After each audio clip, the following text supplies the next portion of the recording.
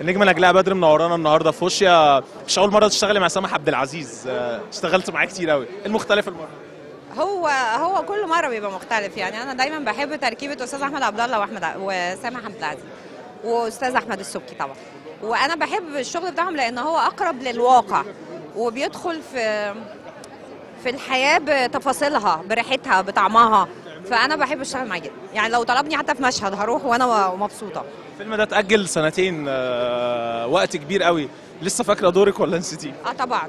لا هو مش اتاجل لسنتين هو خلص السنة اللي قبل اللي فاتت واجل سنة. بس طبعا أستاذ أحمد السبكي دايما عنده وجهة نظر في نزول الفيلم إمتى والميعاد المناسب ليه. ويا رب يكتب لنا نجاح يا رب بإذن الله. ثورة النساء نجلاء بتعمل ثورة برضو ولا بعيده عن الثورة بتاع النساء؟ لا والله عاملاها على الفيسبوك عندي بس مش عارفة ليه. مش جايبه مش جايبة نتيجة لغاية دلوقتي. لا عند عندنا النساء عندها ثورة طبعا. لأن هي لغاية النهارده أنا بقول ان إن مجتمع إحنا في مجتمع ذكوري. ما زالت المرأة عندها مشاكل ده اللي هتشوفه في الفيلم. إيه هي مشاكل المرأة اللي مش عارفة تعبر عنها؟ ما عندهاش الحق حتى إنها تعبر عنها. بس أنت بتعرفي تعبري ولا لحد دلوقتي بنجوميتك الكبيرة دي ممكن حاجات ما تعرفيش تعبري؟ بالظبط. في حاجات أنت ما ما ما مش ممنوع مقيد في التعبير عنها. يعني ما ينفعش انت تتكلم فيها ما ينفعش انت تقولها. بحكم ان انت فنان لكن أنا كمواطنة ليا حق بس بيعاملونا دايما إن إحنا علينا شوية محظورات من من الحاجات اللي إحنا نقدر نعبر فيها عن مشاكلنا أو أو شكوانا يعني.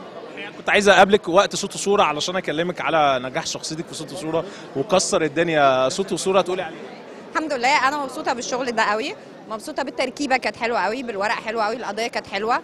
وأنا الدور بتاعي أنا كنت بعمله بقلب قوي يعني كنت حاسه تفاصيله قوي فكنت يمكن هو ده السبب إن أنا كنت سايبة نفسي قوي للدور يعني ما ما اتحكمتش فيه قد ما هو اتحكم فيا. اول مرة تعملي دور الأم آه، بس المرة دي دور أم آه، آه، نقول ال light شوية بس برضو عندها جزء من إن هي بتتحمل ال ال أي أم في الدنيا بتتحمل هي بس الفرق إن أنا ال experience بتاعتي اختلف أو رؤيتي لبعض المشاهد بقت أثقل بالمعنى الأصح. ليه؟ لأن خبراتك الحياتية زادت. وعشراتك اللي أنت شفتها الناس اللي عاشرتها في دور الأمومة في الحياة أثقلت موهبتك أنت. حاجة مش عايز أطول عليكي عايز أتكلم عن إن ممكن شوية شائعات طلعت اللي أنت عملت عمليات تجميل وغيره. هل ده حقيقي ولا لأ؟ وأنا عارف أنت لو عملت هتقولي عملت أنا لو عملت هقول ولو في حاجة هتمنى إن أنا أعملها بصراحة يعني.